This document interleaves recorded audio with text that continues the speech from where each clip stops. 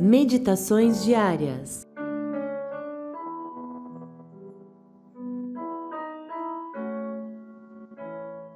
Olá! Queremos nesse momento refletir sobre o versículo do Antigo Testamento das senhas diárias para hoje, que nos vem do livro de 1 Reis, capítulo 8, versículo 27. Salomão falou: Eis que o céu e até os céus dos céus não te podem conter, muito menos este templo que eu construí.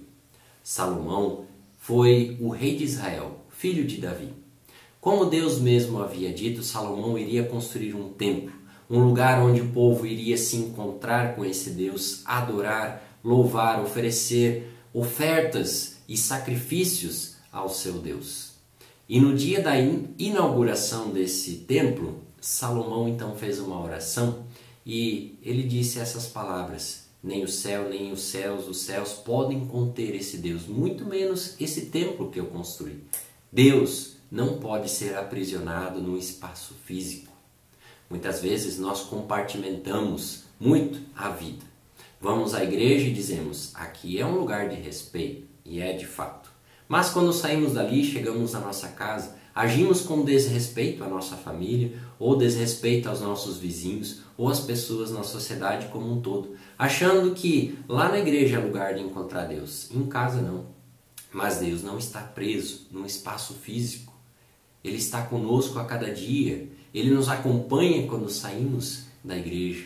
Ele quer estar conosco diariamente. Nem mesmo o céu, nem mesmo o universo é capaz de conter esse Deus, nem mesmo um templo ou a igreja. Vejo também com tristeza quando muitos líderes religiosos dizem que nós temos que determinar a Deus. Isto é um ensino antibíblico e anticristão.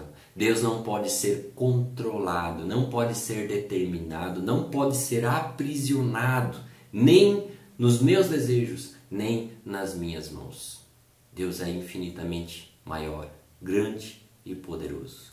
Ser cristão significa muitas coisas e uma delas é se sujeitar a esse Deus. Não tente controlar, mas apenas se curve diante desse Deus tão grande e poderoso. Salomão recebeu de Deus sabedoria. Sejamos nós também pessoas sábias.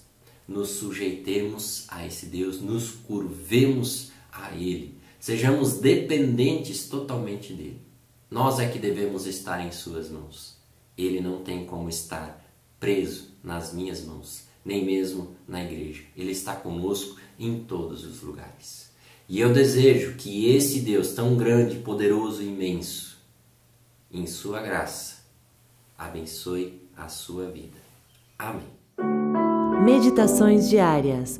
Todos os dias, uma reflexão da Bíblia para fortalecer a fé.